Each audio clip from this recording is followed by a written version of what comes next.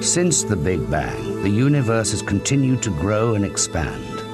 To understand just how big it has grown, we need to take an imaginary spaceship ride from the Earth to the edge of the visible universe. Our nearest neighbor is the Moon, just a quarter of a million miles away. At the center of our solar system, 93 million miles away, is our Sun.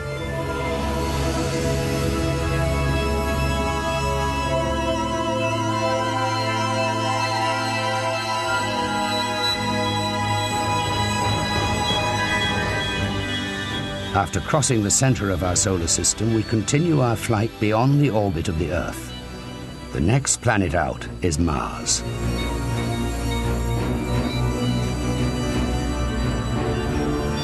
Beyond the orbit of Mars is the asteroid belt.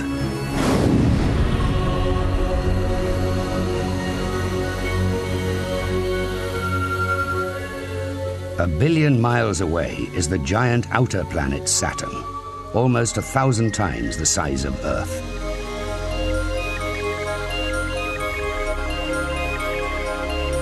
As we leave the solar system, we would pass one of our earliest interplanetary explorers, Voyager 1, launched in 1977 and traveling at a mere 40,000 miles per hour.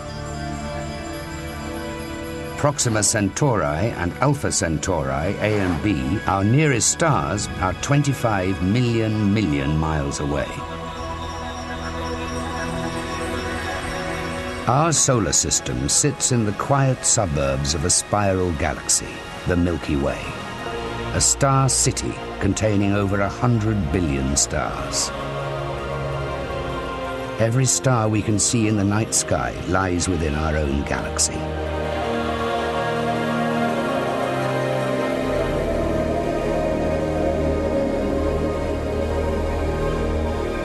This is deep space. Out beyond the Milky Way, 10 million million million miles from Earth, is the next spiral galaxy, Andromeda.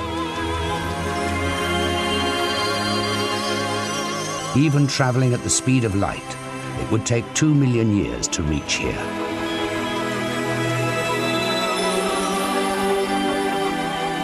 Andromeda and the Milky Way form part of a small cluster of galaxies called the Local Group.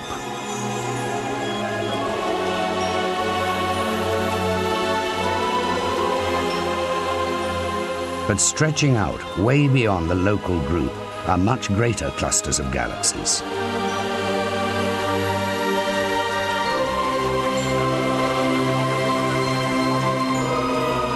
If it were possible to travel fast enough for long enough and reach the edge of the known universe, this is what we would see.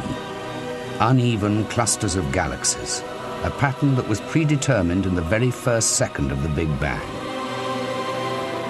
This is as far as our spaceship can take us. We are now 50 billion trillion miles from Earth.